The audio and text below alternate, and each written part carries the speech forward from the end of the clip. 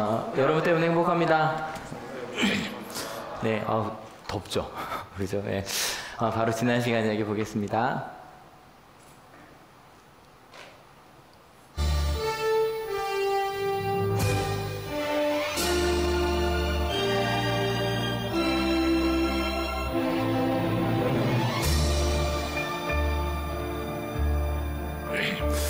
예, 제가 오늘 그 숙제를 오랜만에 하나 보내드렸죠. 나에게 예수님은 누구신가 묵상하며 와달라고 제가 뭐 문자를 보내드렸었는데요. 어, 혹시 생각하셨어요? 나에게 예수님은 어떤 분이신가? 좀, 아, 이게 오늘 하루 종일 이, 이 시간 내내 같이 물을 거예요. 이걸 물어야 되는 이유가 마태복음은 말 그대로 마태가 쓴 복음서예요. 근데 이제 하늘교회 아시죠? 복음은 누구죠? 복음은 예수님이에요. 이렇게 아시면 돼요. 복음은 예수님이에요. 그러니까 마태복음은 마태가 쓴 예수님 이야기예요. 그러니까 이걸 좀 정확하게 하고 가면 예배를 드리거나 뭘 하거나 좀 분명해져요. 한올교회도 마찬가지. 한올교회는 그리스도인, 예수님을 그리스도로 고백한 사람들의 모임이에요. 그 중에 이름이 한올교회인 것일 뿐이죠. 그죠? 우리는 예수님을 그리스도로 고백하는 기독교예요. 그리스도교예요. 예배도 마찬가지. 뭐 예배 형식은 다양하죠. 하지만 예수님을 그리스도로 고백하는 사람들이 모여서 예수님께서 가르쳐 주신 하나님께 경배드리고 예배하는 게 한올 예배의 목적이에요. 어, 찬양 너무 멋있었죠? 박수 한 번 더 쳐주실래요? 월요일쯤 문자가 와요. 목사님한테 그죠? 많이 들어와 주시기 바랍니다. 이제 문자가 와요. 근데 그 찬양을 끊임없이 들으면서 예배하는 것도 우리가 드러나기 위함이 아니라 그 찬양 속에 담겨진 예수님을 하나님을 고백하는 게 우리 예배의 목적이에요. 때문에 우리가 예수님을 누구라고 고백하는가는 우리 그리스도에게 가장 중요한 문제예요. 실제로 오늘 본문이 아까 제가 읽어본 것처럼 예수님께서 직접 제자들에게 묻는 거예요. 한번 같이 읽어볼게요. 준비 시작. 예수께서 빌립보의 가이사랴 지방에 이르러서 제자들에게 물으셨다. 사람들이 인자를 누구라고 하느냐. 여기 인자라는 말이 저희 전에 그 남자 말씀기도에서 한참 이거 갖고 얘기를 한 적이 있는데 저희는 인자라고 하면 두 자밖에 안 되잖아요. 그죠? 사람이 자 아들 자고 말 그대로 사람의 아들이라는 뜻이에요. 근데 이걸 원어로 보면 멋있게 좀 헬라어로 읽어볼게요. 준비 시작. τὸν, υἱὸν, τοῦ, ἀνθρώπου이라고 돼 있어서 영어로도 그냥 son of man이에요. 근데 이걸 조금 더 그, 그 영어랑 다르지만 그 그리스어의 문법을 살리려면요. 여기 보면 정관사가 하나 더 붙는 거예요.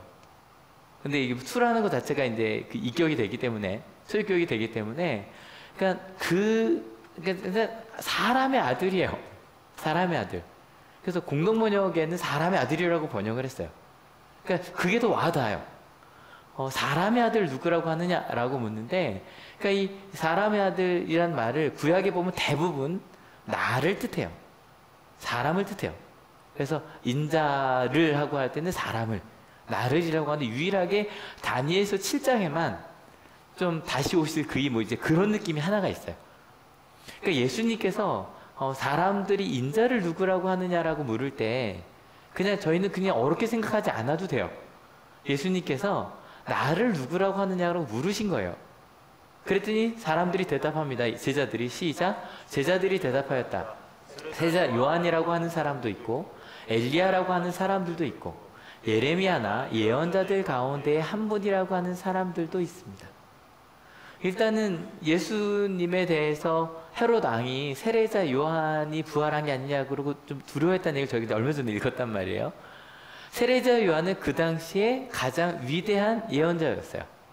심지어는 왕도 두려워할 만큼. 어, 엘리야도 마찬가지. 엘리야는 구약을 읽어보시면 가장 인기, 그러니까 인기 있는 캐릭터가 엘리야예요. 왜냐면 진짜 기적예가 진짜 많이 나와요. 죽은 사람도 살리고요. 그래서 막 엄청 막 싸움도 걸고 막 이래서 그러니까 가장 능력이 나 이런 사람이어서 좀 우리나라를 구원했으면 좋겠다고 할 때 생각나는 게 엘리야예요. 그 다음에 예레미야는 뭐 예언자들 함께 가는 이유가 이스라엘 특별히 이제 남유다가 멸망하기 바로 전부터 포로기까지 예언자들이 대부분 그때 활동을 했거든요. 하나님의 뜻을 전했던 특별히 예레미야 같은 경우도 어떻게 죽었는지가 안 나와요. 그래서 뭐, 뭐, 이집트에 죽었을 거라고 생각을 하는데, 하여간 이 사람들이, 예언자들이 얘기하는 건 미래에 대한 얘기가 아니야. 이게 제가 이번 주 다음 주도 그렇고 제가 원래 좀 그 단어 설명을 많이 하는데 좀 더 해야 돼 이번 주 다음 주는 예언자라고 하면 이것도 나올 때마다 말씀드리거든요. 우리가 볼 때는 예언자는 어떤 사람이에요? 동쪽으로 가라, 서쪽으로 가라, 그죠? 이게 예언자예요. 이렇게 하는 게 옳다. 근데 구약의 예언자는요, 그걸 말하는 사람들이 아니에요. 하나님의 뜻을 전하는 사람이에요. 그래서 정말 위대한 예언자는요, 그 예언이 틀려야 돼요. 어, 이상하죠? 예언이 틀리는 게 위대한 예언자예요. 왜일까요? 왜일까요? 이게 이제 새벽 기도 때 말씀 많이 드렸거든요. 저희 지난주에도 예언자가 한 명이 나왔어요. 요나의 표징 밖에 뭐 나올 때 기억하시죠? 요나의 표징이 뭐냐면 요나가 니느웨 가서 어이구 어이구 괜찮죠? 어, 예. 어, 요나의 표징이 뭐냐면 니느웨가 너무 잘못됐으니까 하나님 널 심판하실 것이라고 전했단 말이에요. 근데 하나님께서 니느웨를 심판하셨어요, 안 하셨어요? 안 하셨어요. 그러니까 뛰어난 예언자는 그 예언자의 말을 듣고 사람들이 돌이켜야 돼요. 그래서 하나님의 뜻대로 살게 하는 게 예언자지. 그 말이 맞는 게 예언자가 아니에요. 이해가 되시죠? 어쨌건 이 세 사람 다 세례자 요한 엘리야 예레미야나 그 다른 예언자들 다 하나님의 뜻을 전하는 사람이에요. 그래서 사람들이 볼 때 예수님은 누구였어요? 예언자였어요. 그런 의미로. 하나님의 뜻, 아, 이게 하나님의 뜻이구나라고 딱 정확히 전하는 분이 예수님이었어요. 그래서 사람들이 두려워했던 거예요. 말을 들었던 거예요. 예수님께서 그래, 오케이, 오케이. 그 다음에 다시 물으세요. 같이 읽어볼게요. 예수께서 그들에게 물으셨다. 그러면 너희는 나를 누구라고 하느냐? 여기는 인자라고 안 하고 딱 그냥 분명하게 얘기하는 거예요. 너희는 나를 누구라고 하느냐? 아마 그 예수님의 제자들이 예수님을 뭐라고 불렀을까요? 선생님이에요. 좀 이따도 나와요. 선생님, 라삐예요. 라삐요. 라보니라고 하거든요. 선- 어, 선생님이라고 제일 많이 불렀어요. 근데 아니면 또 다르게 나온 건 좀 그 이것도 이제 여성들이 많이 불렀는데 주님이라 큐리오스라고도 많이 불렀어요. 근데 이거 말고 그러니까 아마 여러분도 뭐 저를 다 앞에서 다 목사님이라 불러주시지 않아요? 근데 모르죠? 학생들도 학교에서 다 선생님이라고 하는데 따로 있을 때 따로 이렇게 얘기하잖아요. 이름 부르고. 그러니까 너희들끼리 있을 때 나를 너희는 뭐라고 부르냐고 얘기하고 있는 거예요. 아니면 너의 마음 속에 너는 제자들에게 예수님을 누구라고 하고 있냐라고 묻고 있는 거예요. 여러분 저희가 앞에서 앞서서 복음은 예수님입니다라고 쉽게 얘기했지만 그 복음이 누군지 뭔지 예수님이 뭔지 우리는 아직 잘 몰라요. 그래서 여러분 끊임없이 물으셔야 돼요. 예수님도 묻는 거예요. 야 너는 나를 뭐라고 불러? 여러분 이제 여기서 여러분 마음속에 있는 대답을 다시 한번 생각해 주세요. 오늘 아침에 나에게 예수님이 누군가? 아마 친구라고 생각하신 분도 계실 거고, 그죠? 구원자, 그리스도 메시아, 혹은 퀘스천 마크 아직 좀 잘 모르겠다. 일 수도 있고 하나님이요? 혹은 두려운 분? 뭐라고 생각하셨는지 모르겠어요. 근데 그게 모든 게 우리의 답이겠죠, 그죠? 그 중에 한 명이 베드로가 일어나서 이렇게 얘기하죠. 거의 뭐 정답 같은 대답이에요. 같이 읽어볼게요. 시몬 베드로가 대답하였다. 선생님은 살아계신 하나님의 아들 그리스도이십니다. 아까 말씀드린 것처럼 선생님이라고 불러요. 겉으로는. 하지만 마음속으로 하는 고백이에요. 예수님은 살아계신 하나님. 이 살아계신 하나님이라는 단어가 세번역 기준으로 33번이 나와요. 성경 전체. 그러니까 실제로 이스라엘 사람들이 하나님을 살아계신 하나님이라고 꽤 많이 고백을 한 거예요. 33번이 꽤 많이 나온 거예요. 성경 66권인데 뭐 두 권에 한 권씩은 아니지만 꽤 많이 살아계신 하나님이라고 고백을 했어요. 왜일까요? 왜일까요? 실은 많은 사람들의 마음속에 하나님은 죽어 있는 하나님인 것 같아요. 어? 목사님 말이 됩니까? 하나님이 있는데? 무슨 얘기냐면 살아계신 하나님이시라면 내 옆에서 살아 움직이시는 분이시라면 그 하나님을 고백하는 사람들은요 평범하게 살 수가 없어요. 하나님이 내 건 살아 움직이시는데 때로는 아프고 힘이 들어요. 앞이 보이지 않아요. 그럴 때도 하나님이 살아계시다면 그죠? 좀 달라지는 거예요. 다른 때도 마찬가지. 내가 내 하고 싶은 대로 살다가 살아계신 하나님이 날 보고 계신데. 여러분 가끔 그런 얘기 하잖아요. 뭐 요즘에는 안 하지만 야 하늘이 무서운 줄 모르고 막 이런 얘기 하잖아요. 이거 이거 기독교가 한 얘기 아니에요. 원래 우리나라에서 100년 전, 200년 전 사극에도 나와요. 하늘 무서운 줄 모르고 산다고. 무슨 얘기냐면 하늘이 정말 우리를 바라보고 있다는 걸 안다면 지금처럼 살 수 없다는 얘기예요. 여러분 여쭤볼게요. 여러분에게 하나님은 살아계신 하나님이세요? 혹은 죽어있는 하나님이세요? 베드로는 고백하는 거예요. 몰라요. 예수님을 만나기 전에 베드로에게도 하나님은 죽어있는 하나님일 수도 있어요. 그런데 예수님을 만나고 나니 예수님이 내 삶 속에서 살아 움직이기 시작하시는 거예요. 와, 하나님은 살아계신 분이시구나. 근데 내 삶 속에서만이 아니라 누구의 삶 속에? 우리의 삶 속에. 살아 움직이시겠구나. 그런데 그 하나님의 아들인 그리스도시라는 거예요. 여러분, 아들? 여러분, 그 당시 아들이라고 하면 상속자예요. 어, 왕자. 우리는 왕자란 말이 별로 이제, 왕자라 그러면 언제밖에 안 써요? 유치원 아이들이. 난, 난, 뭐 이런 거 할 때, 그죠? 나는 왕자, 맨날 제안이도, 난 공주, 뭐 이거 얘기하거든요. 그때밖에 안 쓰지만, 왕이 있었던 시절이잖아요. 그죠? 왕자예요. 그 모든 걸 받아들인 분의 시민 그 정도가 그리스도라는 거예요. 그리스도. 이것도 뭐 자주 하는 얘기죠. 오늘은 좀 정리를 하고 가야 되는 날이니까. 저희가 보통 예수 그리스도라고 하죠. 뭐가 성이죠? 뭐가 이름이고? 이제 웃으시면 답을 아시는 거고 고민하시면 아직 답을 모르시는 거예요. 뭐가 이름이죠? 아, 예수가 이름이고. 그럼 그리스도는 성인가요? 아니죠, 아니죠, 아니죠, 아니죠. 그리스도라는 말 자체가 기름 부음을 받은 자, 메시아 구원자라는 뜻이에요. 그래서 실은 이 그리스도라는 말은 이거 조금 하지만 고유 명사인가요? 보통 명사인가요? 보통 뭐가 고유 명사죠? 하나밖에 없는 거예요. 하나밖에 없는 거. 그러니까 이성재란 이름은 많죠. 하지만 그 고유 명사로서 이성재는 한 명이에요.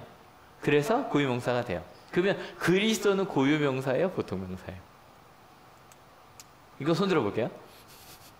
예수는 그러니까 고유 명사예요. 예수란 이름이 예수님 되게 많았어요. 그러니까 이거 하나 더 드릴게요.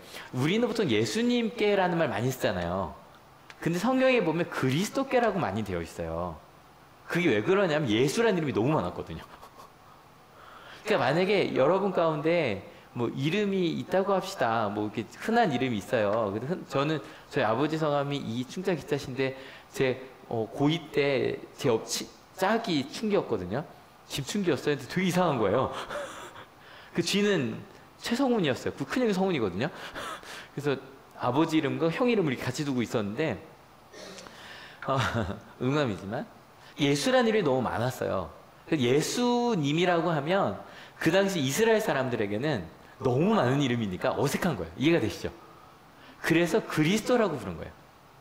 근데 우리 같은 경우는 어떻게 주변 친구 중에 예수가 한 분씩 있으시죠? 없잖아요. 그러니까 미국에서 조슈아라고 하는 그런 이름이 예수라는 이름이거든요, 그게. 하지만 우리는 없단 말이에요. 그것도 이제 조슈아라고 하지 지저스라고는 이름 안 지니까. 그죠? 그러니까. 아무튼. 어, 그래서 저희는 예수님이라고 많이 하고 외국 사람들은 그리스도라고 얘기를 많이 하는 거예요. 그래서 저, 우리는 옛날에 어, 야, 야소교라고 불렀다고 하잖아요. 조선시대까지도 기독교인들을. 그게 그래서 그런 거예요. 예, 예, 그렇게 넘어갈게요. 아무튼. 그러면 그리스도는 고유명사일까요? 보통명사일까요? 손 들게요. 그리스도는 고유명사다. 보통명사다. 아, 근데 실은 그리스도는 우리에게도 고유명사일 수도 있을 것 같아요. 왜냐면 많은 그리스도들 주라고 하는 사람들이 있지만 예수님 한 분만 이렇게 되면 이제 되겠지만 그리스도는 보통명사가 맞아요. 그래서 예수님 시대에도 많이 정말 기름을 부음을 받아서 우리를 구원해줄 구원시켜줄 그래서 내가 그리스도라는 사람들도 꽤 많이 있었고요. 예수님 시대 때도 여러 명 있었어요. 그리고 실제로 로마 기록을 보면 로마 황제들을 그리스도라고 불러요. 그래서 그들이 승전보를 울리면 그거를 유한겔리온 복음이라고 불렀어요. 어, 그 당시에 문건들을 보면 똑같은 단어가 그렇게 쓰일 수 있어요. 하지만 뭐 우리 그리스도인들에게는 그리스도라고 하면 예수님 한 분밖에 없으니까 그렇다고 합시다. 어쨌건 우리가 예수 그리스도라고 하는 순간에 이건 엄청난 고백이 되는 거예요. 뭐냐면 2000년 전에 사셨던 나사렛에서 출신의 예수라는 한 분이 우리의 구원자 그리스도시다.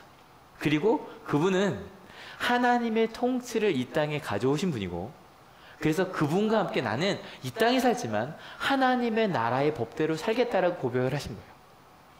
엄청나죠? 그러니까 예수 그리스도라는 말을 함부로 할 수가 없었던 거예요, 진짜로. 예수는 나의 그리스도십니다. 믿으십니까? 그러면 나는 예수님의 말씀을 따라 예수님을 따라 살겠다고 신앙 고백을 하고 있는 거예요. 이 한마디면 충분한 거예요. 그래서 물고기 전에 말씀드렸잖아요.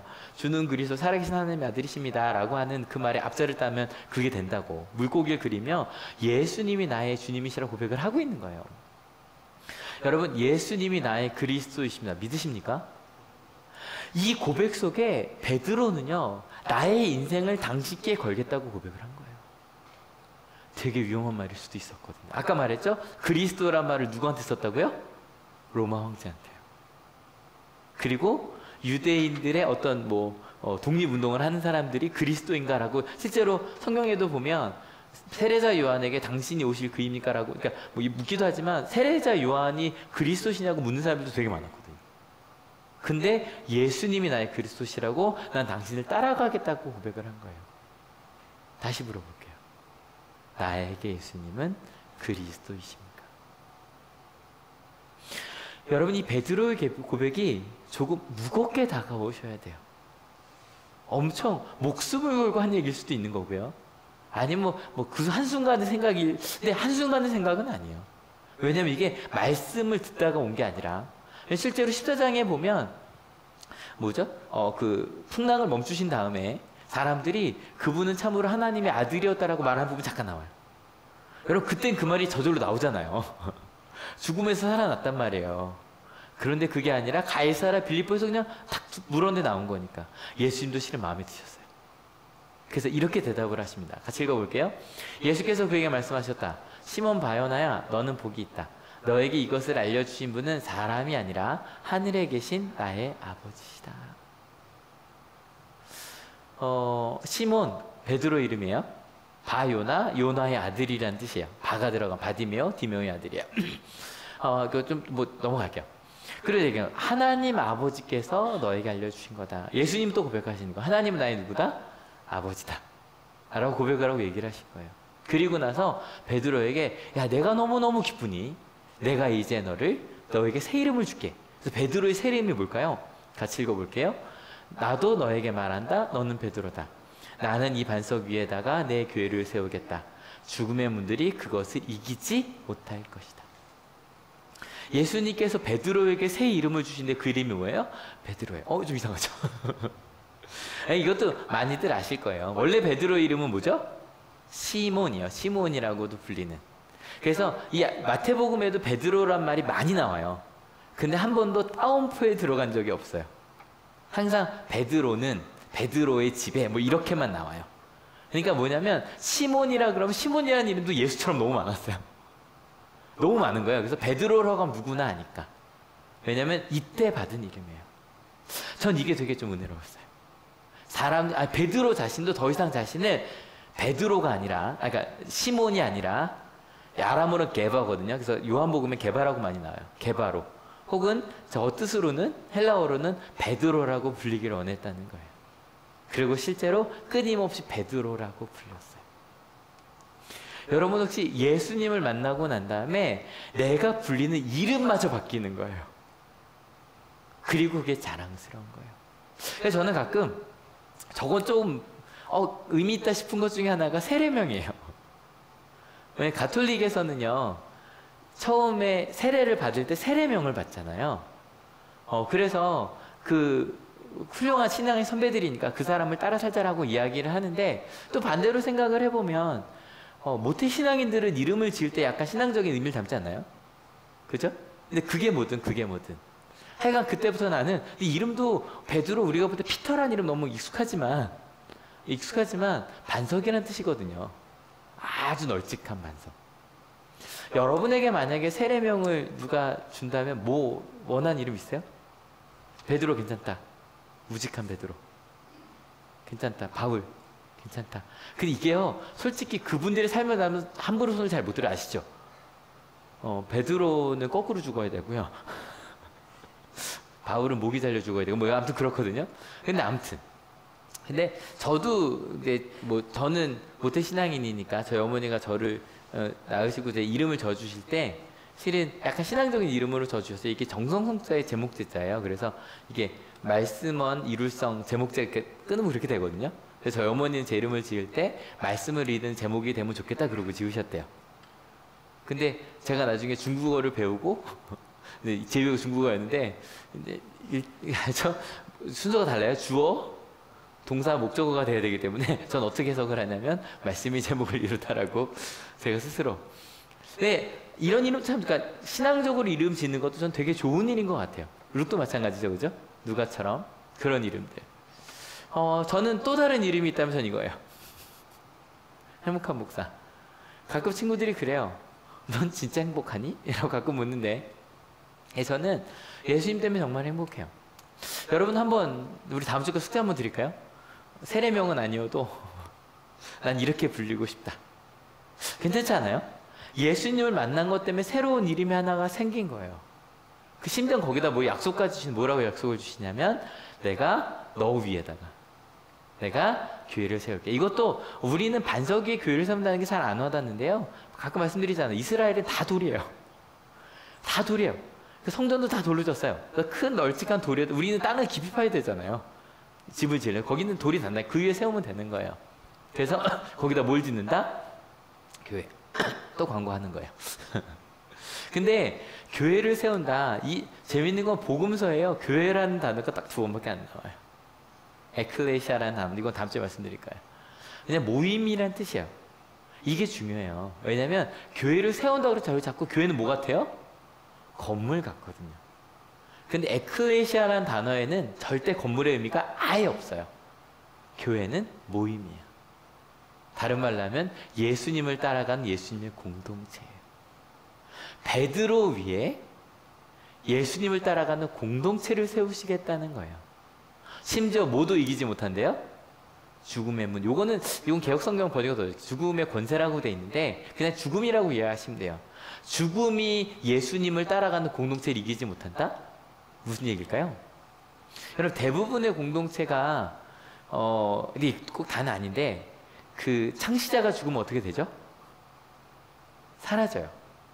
죽음은 그 공동체에 이루게 이어가 나가지 못하게 해요. 대부분. 맞죠? 그리고 실제로 그 당시도 그랬어요. 그리고 그 당시에 죽음은 끝이라고 생각했거든요.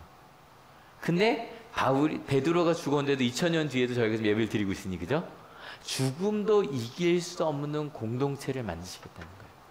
하나님을 예수님을 따라가는 더, 더 읽어볼까요? 준비 시작. 내가 너에게 하늘나라의 열쇠를 주겠다. 내가 무엇이든지 땅에서 매면 하늘에서도 매일 것이요 땅에서 풀면 하늘에서도 풀릴 것이다. 이것도 저희가 되게 좋아하는 성경 구절 중에 하나거든요. 이것 때문에 실은 베드로 문지기설이 생겼어요. 자꾸 이제 천국에 가면 베드로가 문 앞에 서 있을 거라고 다들 이것 때문에 생각을 해요. 열쇠 갖고 있으니까. 근데 실은 그것보다 더 중요한 얘기예요. 매고 푼다는 얘기가 뭘까? 매고 푼다는 얘기가 뭘까? 그 당시에 이 해석들은요, 땅에서 매고 땅에서 푼다는 얘기는요, 이렇게 봤어요. 하나님의 말씀 중에서 이건 해야 되는 거. 이거 하면 안 되는 거. 이게 하나님의 뜻에 맞고 이건 하나님의 뜻에 틀려. 이건 잘못된 거야. 라고 해석한다는 거를 매고 푼다라고 많이 해석을 했어요. 그럼 좀 분명해지지 않아요? 그 공동체에게 베드로에게 하나님께 예수님께서 권한을 주었는데 뭐냐면 무엇이 옳은 것이고 무엇이 우리가 하, 해야 되는 것이고 무엇을 하면 안 되는 것인지를 성경 말씀이 이게 옳다고 말할 수 있는 권위를 주셨다는 거예요. 생각해 보니 예수님도 그러셨어요. 여러분, 15장이 바로 나왔던 거, 그 당시 해야 되는 거 손을 열심히 씻는 일이었어요. 그죠? 예수님께서 뭐라 그래요? 손 씻는 것보다 뭐가 중요하다? 실제로 부모를 사랑하는 게 훨씬 더 중요하다. 이게 예수님 해석이었거든요. 그러니까 이스라엘 사람들은 그때까지는 너 이거를 하면 그걸 조건부로 해서 넌 하나님의 자녀가 될 거야. 라고 하는 게 그 당시 해석이었는데 예수님은 바꾸셨어요? 너는 이미 복 있는 사람이야. 넌 소금과 빛이야. 그러니 이렇게 살자로 바꾸신 거예요. 예수님께서 하신 것처럼 너희는 하나님의 뜻을 정확히 분별하고 이야기할 수 있는 사람이 될 수 있다라고 이야기를 해주신 거예요. 실제로 성경에도 보면 그래서 베드로가 이 문을 하나 연게 있어요. 바로 뭐냐면 이방인에 대한 거예요. 여러분 저희 15장 읽으면서 이스라엘 유대인들 예수님의 제자들도 이방인에 대해서 불편했다는 거 기억하시죠? 그런데 사도행전 10장에 보면 처음으로 이방인 백부장 고넬료를 베드로가 전도를 합니다. 세례를 줍니다. 문이 열린 거예요. 이게 만약에 바울이 먼저 가서 세례를 줬다면 절대 인정받지 못했을 거예요. 베드로가 먼저 문을 열었어요. 그 다음부터 바울도 가능해진 거예요. 이해가 되시죠? 여러분 우리도 마찬가지예요. 실은 인류 역사 2000년 동안 기독교가 한 일이 그 문을 여는 일이었어요. 처음에 나온 건 노예의 문을 열었어요. 맞죠? 그죠? 노예라는 문을 열었어요. 기독교 안에 2000년 전에도요. 바울이 주인과 노예가 너희는 그 노예제도 폐자라고 하진 않았지만 똑같이 하나님의 자녀라고 가르쳤어요. 엄청난 문을 열어버린 거예요. 맞지 않아요? 여러분 200년 전에 기독교가 한국 왔을 때 제일 많이 실은 사람들이 싫어했던 게 겉으로는 조상신에 대한 거였지만 안으로는 반상을 깨는 거였어요. 그 다음에 뭘 깼죠? 저희 뭐 이화 여고부터 시작해서 저희도 여학교였잖아요. 남자 남자는 가능하고 여자는 안 된다는 걸 깼어요. 실은 이번에 한 교회 가서 이렇게 복음을 전하는데 전하다가 어 잠깐 멈칫했던 것 중에 하나가 어 제 아내도 목사예요라고 말했는데 갑자기 얼굴색이 탁 변하는 분들이 몇 분 계셨어요. 왜냐 아직 여성에게 안수를 주지 않는 교단이었거든요. 그런데 기독교가 실은 먼저 열었어요. 맞죠? 그죠? 그런 문들을 열고 있는 거예요. 왜냐하면 그게 하나님의 뜻이니까. 여러분, 우리에게는요, 하나님의 뜻을 따라 땅 끝까지 하나님의 나라를 만들 권세와 그리고 하나님께서 우리에게 책임을 주셨습니다. 믿으십니까? 우리가 해야 할 일인 거예요. 만약에 우리가 살아가는 세상 속에 하나님의 뜻을 우리가 분별하게 된다면 그 뜻대로 문을 열고 가는 여러분 되시길 축원합니다. 그럼 그 열쇠를 어떻게 쓰면 좋을까? 그 사용법이 그 뒤에 나와요. 같이 읽어볼게요. 첫 번째 시작. 그때 예수께서 제자들에게 엄명하시기를 자기가 그리스도라는 것을 아무에게도 말하지 말라고 하셨다. 어, 사용법 이상해요. 첫 번째 사용법이 뭐냐면 나에게 그런 권한이 있다고 말하면 안 돼요. 그러니까 그리스도인들이 세상에 나가서 우리에겐 이러한 어, 권위가 있습니다라고 말하면 안 되는 거예요. 대신에 해야 될 일이 있어요. 바로 따라 읽어볼게요. 준비 시작. 그때부터 예수께서는 자기가 반드시 예루살렘에 올라가야 하며 장로들과 대제사장들과 율법학자들에게 많은 고난을 받고 죽임을 당해야 하며 사흘째 되는 날에 살아나야 한다는 것을 제자들에게 밝히기 시작하셨다. 우리가 해야 될 일은 우리가 예수님을 모시고 있어 우리는 세상을 지배할 거야가 아니라 그 말은 우리니까 그런 존재라는 걸 알지만 하고요. 우리가 해야 될 일은 많은 고난을 받고 예수님을 따라 죽임을 당하는 일이에요. 부활을 믿어요. 하지만 부활 전에 뭐가 있어야 부활이 가능해요? 죽음이 있어야 부활이 있는 거예요. 여러분, 이게 이 죽은 자를 살리신 제가 지난달, 지지난달 두 달 동안 정말 아침 예배 때 이 얘기는 한 달에 열 번씩 했거든요. 죽은 자를 살리신다는 게 얼마나 놀라운 이야기인지. 특별히 수요 예배 고린도전서 15장 설교 지지난주 한몇 주 했거든요. 나중에 좀 찾아서 읽어 들어보시면 이 죽은 자를 살리신다는 게 우리랑 너무 다른 표현이에요. 우리가 느끼는 거랑 엄청나 와 죽은 자를 살리셨어? 그 고백을 하시는 거예요. 그리고 그제서야 그 전에도 예수님은 그렇게 사랑하며 사셨지만 고난을 받고 죽임을 당하는 것 그것이 우리가 살아가는 삶의 방법이라고 그들에게 밝혀 말하기 시작하셨어요. 여러분, 베드로의 고백, 베드로의 고백처럼 예수님을 살아계신 하나님의 아들로 고백하는 어, 우리가 됩시다. 어. 여러분, 예수님이 여러분 마음속에 살아계십니까? 여러분의 삶 속에 정말 살아 움직이고 계십니까? 예수님이 정말 여러분의 그리스도이시고 구원자이십니까? 그렇다면 예수님을 따라 사는 거예요. 여러분 그 예수님을 따라가는 삶 우리는 실은 이때까지 뭐 제자들은 몰랐지 우리는 알거든요. 예수님의 십자가를 함께 지며 사는 거예요. 뭐죠? 내가 먼저? 내가 먼저? 내가 먼저? 내가 먼저 나눠주. 우리의 삶 속에서 예수님을 따라 살아가는 거예요. 그리고 그 위에 예수 공동체가 세워지고 있는 거예요. 여러분, 여러분 가정을 예수 공동체로 만든 여러분 되시길 축원합니다. 그러면 여러분 가정이 교회가 되는 거예요. 여러분, 여러분이 만드는 친구들과 직장에서의 관계를 예수님의 삶으로 채워가는 여러분 되시길 축원합니다. 그게 교회예요. 또 광고예요. 그런데 여러분 진짜 아, 어, 아 이게 저는 믿음으로 갈게요.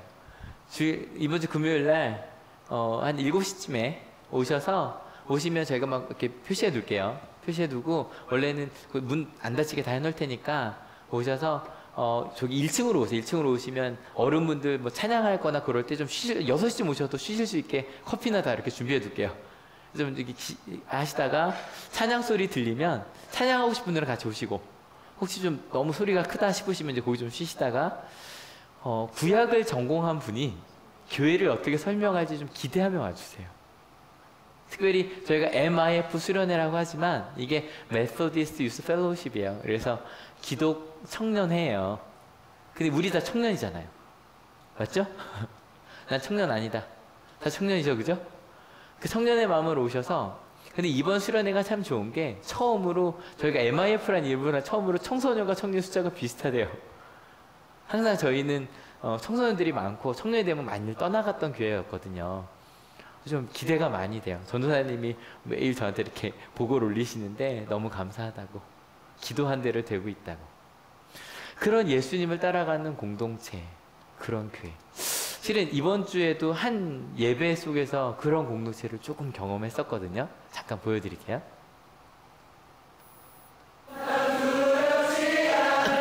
제가 SNS도 올렸었는데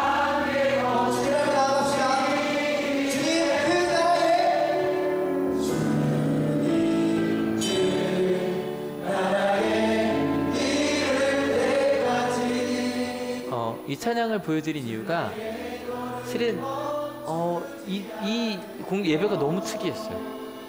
한, 한 시간 찬양에 거의 30분 가까이를요, 다 이런 식으로 해요.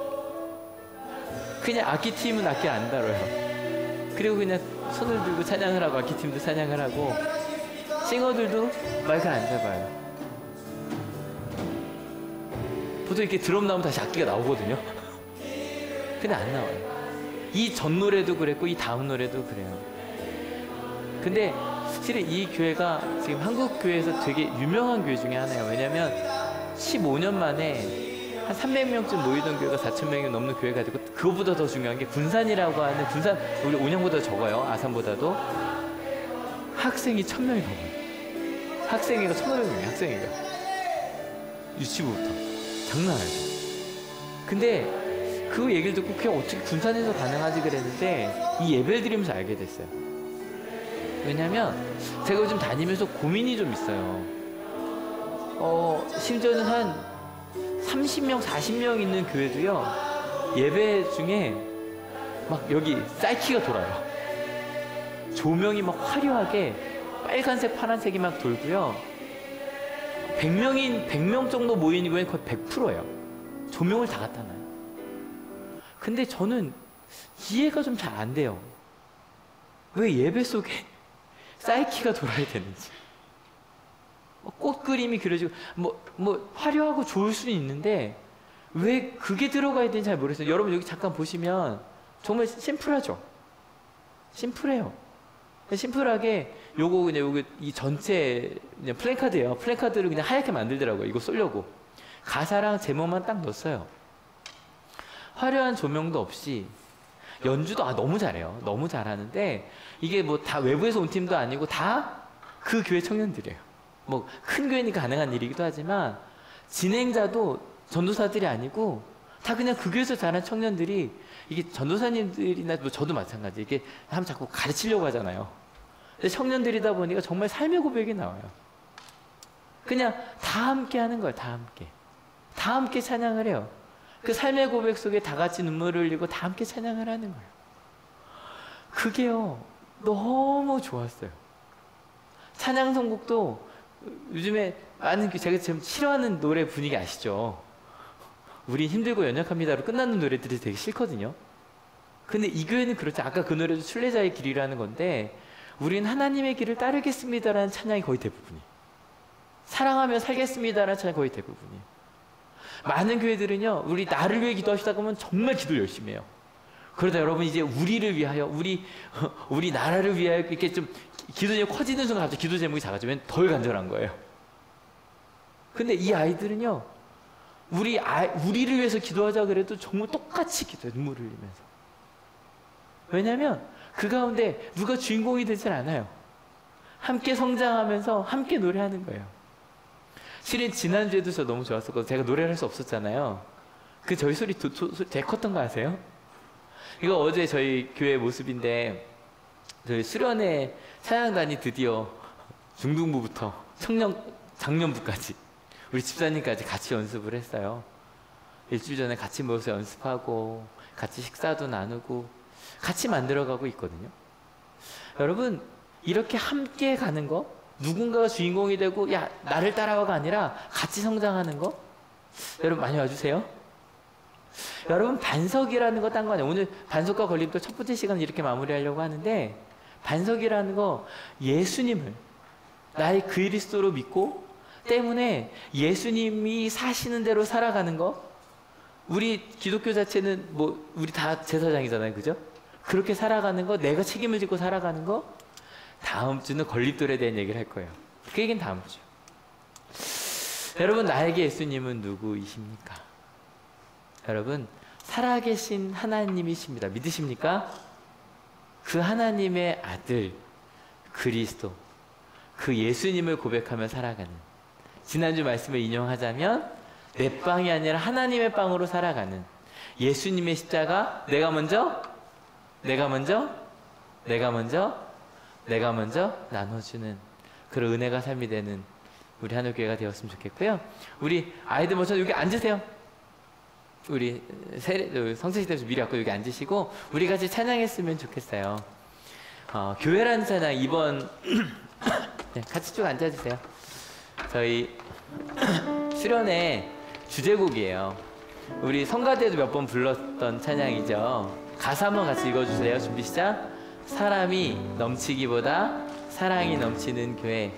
섬김을 원하기보다 섬김의 기쁨 알아가는 교회. 세상이 주목하기보다 주님이 주목하는 교회. 화려한 겉모습보다 중심이 주를 향한 교회. 주님이 피로 사신 아름다운 교회. 서로를 사랑함으로 하나 되는 교회. 여러분, 예수님께서 여러분 위에, 우리 위에 하나님의 공동체를 만드실 겁니다. 믿으십니까? 나를 통해서. 옆에 손, 손 한번 잡아볼까요? 교회 완성. 이게 교회인 거예요. 이게 교회인 거예요. 예수님의 뜻을 따라 살아가는 우리들이 교회인 거예요. 여러분, 그런 우리들이 모여 사는 게 예배인 거예요. 그래서 예배가 소중한 거고요. 그리고 나가서 이 받은 힘을 갖고 그렇게 살아가는 거예요. 여러분 살아계신 하나님을 고백하며 살아갑시다. 여러분 하나님의 아들 그리스도 그 주님을 따라 살아갑시다. 좀 쑥스럽지만 자꾸 찬양할게요.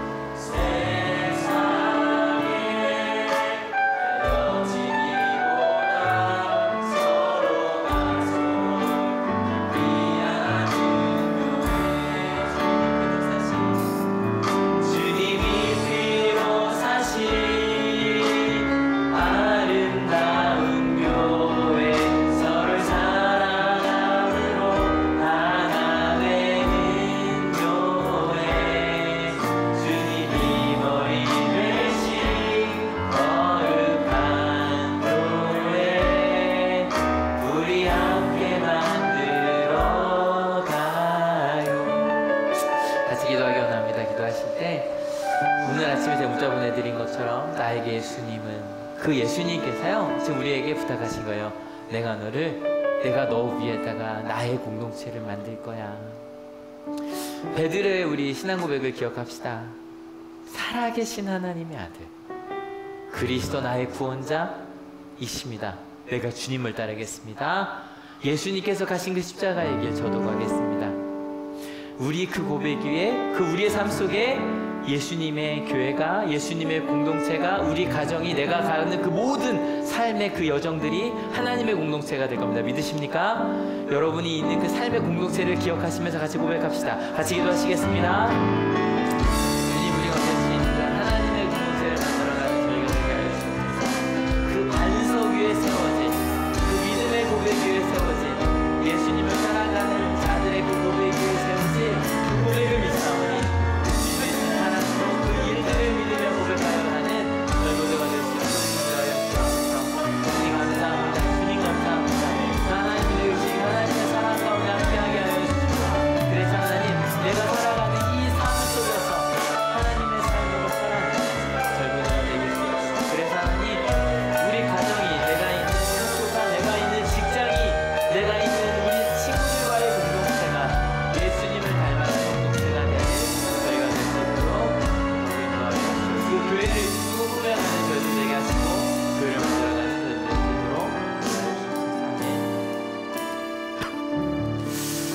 베드로의 그 떨리는 고백을 다시 한번 경험해 보았습니다 당연한 고백이 아니었네요 네 베드로에게 아마 예수님을 만나기 전에 하나님은 그냥 우리 조상의 하나님들로 끝났을 겁니다.